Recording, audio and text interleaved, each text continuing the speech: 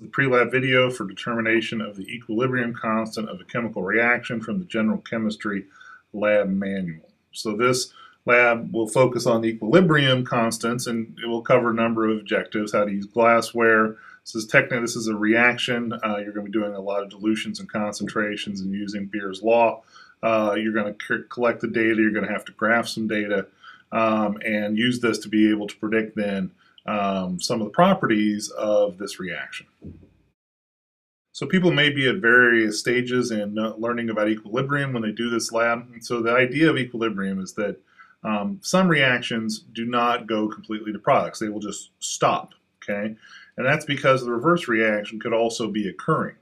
And for many reactions, eventually the rates of these two reactions will um, end up being equal so that the uh, while the reaction is still taking place, there's no net change in the amount of molecules of either reactants or products. And when this happens, when there is this equalization of, of levels, um, of rates, this is called equilibrium. Now, this doesn't mean that there's a one-to-one ratio. Okay, so the, the ratio of the reactant, so here's the reaction we're going to be doing today. Uh, we take iron, an aqueous iron solution and an aqueous compound we call thiocyanate, and we mix that and it makes a complex ion. Now we'll talk about complex ions later. Um, all you have to know is that it's still ionic. It's not a stable compound, but it has this product. So we draw it like this, um, and uh, it's red. Okay, and so uh, so and but the reverse reaction from the iron thiocyanate complex back to iron thiocyanate also happens. Eventually, that reaches equilibrium. Now, like I said, it's not necessarily a one-to-one -one ratio.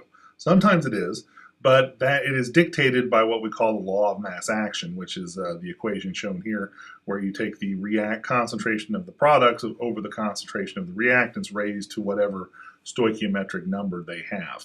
And so uh, you can see then for the equilibrium constant below, for our reaction we have, uh, you know, concentration of iron thiocyanate, concentration of iron, and then the concentration of thiocyanate in the denominator.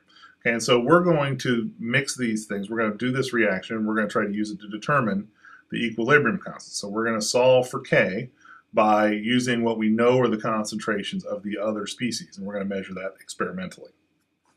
So the way we're going to do this then is we're going to have different, we're going to have two solutions of iron nitrate. We're going to have a, a 0.002 molar and a 0.00 of iron nitrate, which will totally dissociate into nitric acid or uh, iron uh, ions. And we also have potassium thiocyanate, which will give us the thiocyanate anion. And so we're going to mix various um, ratios of this, okay, and then it's going to, so it's going to get different colors of red depending on how much iron thiocyanate was made, okay.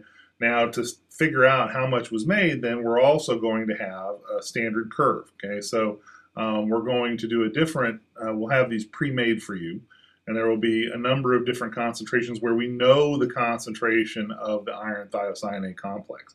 Okay, so if we're going to use Beer's law, like you should be familiar from uh, from earlier labs, um, we should be able to um, use uh, something where we know the concentration to do it.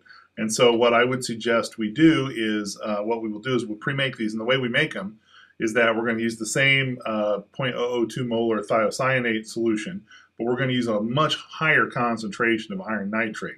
And so what that will allow you to do is if when you learn about this, Le Chatelier's principle is when you uh, add, when you have a system at equilibrium and you add a large amount of one material, the equilibrium will shift to sort of take the burden off. And so what this will do is it'll convert essentially all the SCN uh, to product. Okay, and so we'll see uh, uh all the color will equal basically the concentration of the thiocyanate in there. So that'll be our standard curve. So then we'll get a line, we'll get an equation to dictate the concentration as it relates to absorbance. We can use that then for our initial readings with the um, the one where we had the point, the ones that you're going to be making yourself, and that'll allow us then to do the calculations. Now the calculations are the hard part of this. Okay, so there'll be a post-lab video that'll walk you through that calculation. Um, because we're using spectrophotometers, we don't have a huge number of them, so we're going to have to work in groups of four. Um, everybody should be involved in making the solutions. It's really not potentially a very long lab. The real key, again, is calculations. In terms of safety, um, the iron nitrate, we have to put it in nitric acid in order for the iron nitrate not to basically just turn to rust uh, while we're in there, and so you'll see that. Uh, so you want to be cautious when you use that iron nitri- nitric acid is corrosive. The lab itself, there's not much to demonstrate. You can do these in test tubes. Uh, the amounts you have to add are in the lab manual, so make sure you get those to your lab notebook.